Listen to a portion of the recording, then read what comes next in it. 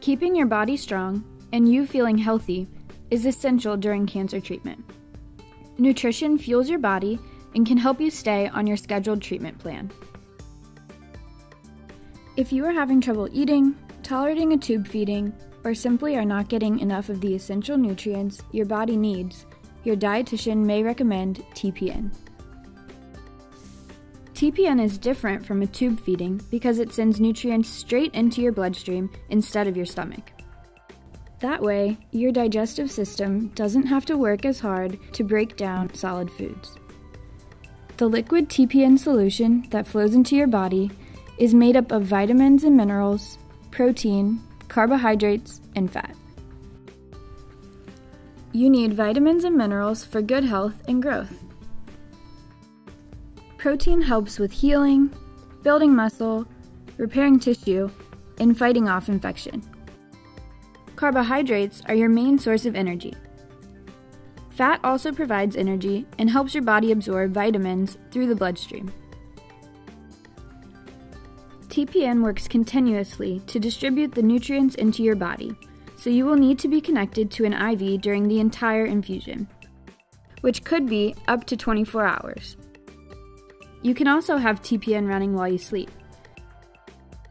Based on your needs, the care team will decide the number of hours for each infusion and how long you will need TPN. If your care team suggests the use of TPN, don't worry, it is not painful. You will get TPN through your central line. Being on TPN doesn't mean you have to sit around all day. You can still get up and move around. IV stands and backpacks allow you to move around your room and the hospital, and you may even be able to use these to run your TPN at home. Malnutrition is a very common problem in cancer patients. Even patients who are eating can become malnourished because of specific changes to their digestive system because of cancer treatment. TPN helps reverse the effects of malnutrition and helps your body respond better to treatments.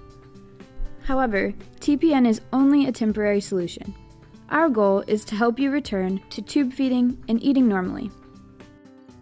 If you are able, you can still eat and use feeding tubes while receiving TPN. Long term use of TPN is not recommended except for special circumstances, as it can increase the risk of infections or liver damage. Your dietitian and medical team are working to improve your nutrition so you can maintain a healthy weight, continue to grow and develop, feel better, and heal faster. If you have any questions about TPN, don't be afraid to ask your dietitian.